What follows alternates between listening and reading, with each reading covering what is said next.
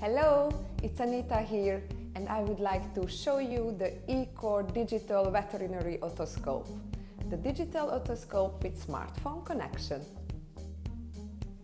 What can you use it for? Well, you can use it as an otoscope, as a dermatoscope, for olfactory channel checkups, and as well for denture examination. Let's see the different parts of the otoscope. We have a manual inside the box. Then we have the otoscope itself, the Wi-Fi module, cannulas that you can buy in a pack of 10. As well, we have a charger and of course our application that is free and available on Android and iOS. At the same time, all of our veterinary devices you can connect to the same application. So let's try it out. It's mandatory to put the cannula to the otoscope.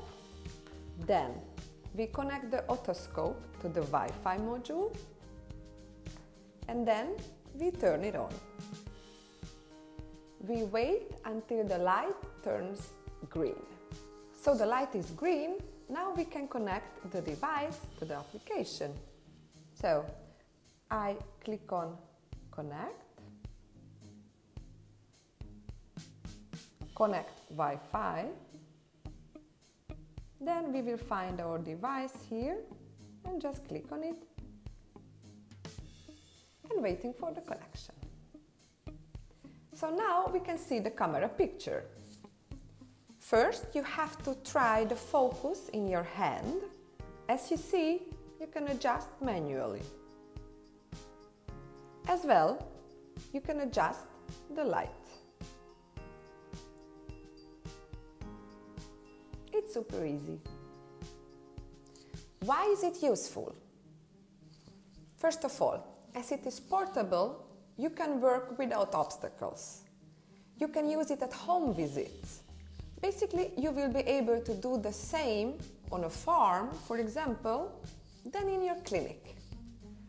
You will have great image quality, high precision control with adjustable focus and 500 times zoom.